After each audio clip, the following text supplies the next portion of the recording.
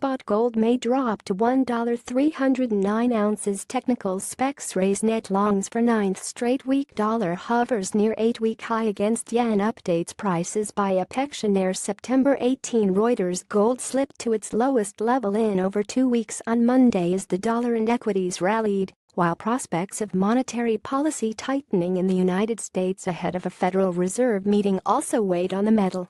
Spot gold was down 0.3% at $1,315.36 an ounce by 065 GMT. Earlier in the session, gold hit $1,314.36, its lowest since August 31.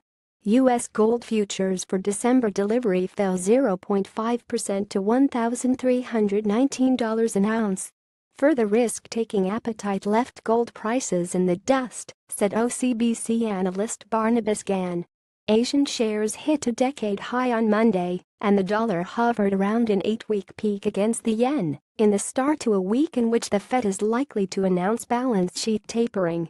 The two-day Fed Open Market Committee meeting, which begins on Tuesday, will be closely watched by markets as the U.S. Central Bank is expected to announce its balance sheet reduction plans while keeping interest rates unchanged in an effort to normalize monetary policy.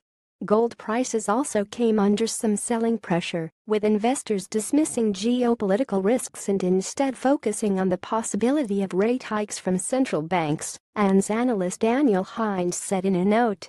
Fed funds futures on Friday implied traders saw a 53% chance of a December rate hike, according to CME Group's Fed Watch tool. Gold is highly sensitive to rising U.S. interest rates, which increase the opportunity cost of holding the non-yielding asset while boosting the dollar, in which the metal is priced. Investors largely brushed aside concerns on the geopolitical front after a relatively quiet weekend in the Korean peninsula U.S. Ambassador to the United Nations Nikki Haley said on Sunday the UN Security Council has run out of options on containing North Korea's nuclear program, and the U.S. may have to turn the matter over to the Pentagon. North Korea issues will likely take center stage when Trump addresses the world leaders at the United Nations for the first time on Tuesday. Spot gold may drop to $1,309 per ounce as it is broken a support at $1,321, said Reuters technical analyst Wang Tao. Meanwhile, data showed speculators raised their net long position in COMEX gold contracts for the ninth straight week, bringing it to a one-year high in the week to September 12. In other precious metals, Silver slipped 0.4% to $17.51 an ounce after earlier hitting its lowest since September 1.